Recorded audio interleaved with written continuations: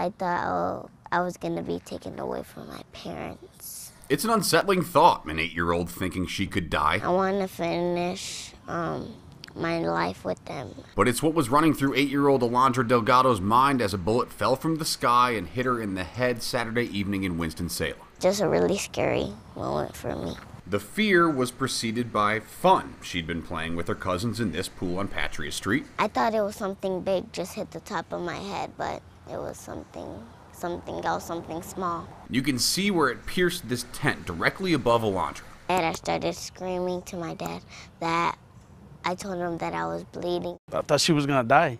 You know, I, I thought I lost my, my, my daughter. As the pool of water was tainted with droplets of blood, I just saw like blood pouring on. I had a puddle of blood in my hand. her dad, who talked to us without his face being shown, tried to stop her bleeding with a blanket as they got his daughter to the hospital. I was praying like, oh, please don't don't take my daughter. Today she's okay, but she doesn't chalk it up to luck. I don't think it was luck. I think it was faith.